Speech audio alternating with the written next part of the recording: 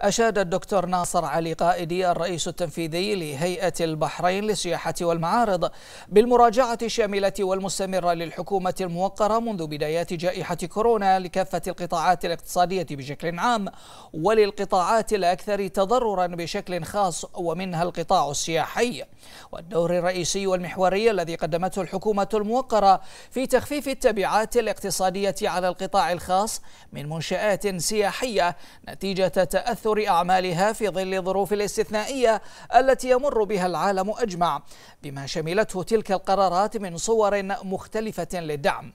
وأكد الرئيس التنفيذي لهيئة البحرين للسياحة والمعارض أن مضامين تلك القرارات وآلياتها ستسهم في الحفاظ على فرص الاستقرار الاقتصادي والاستدامة المالية والتعافي السريع للقطاع السياحي والمنشآت السياحية العاملة فيه لمواجهة تلك التحديات والظروف الاستثنائية.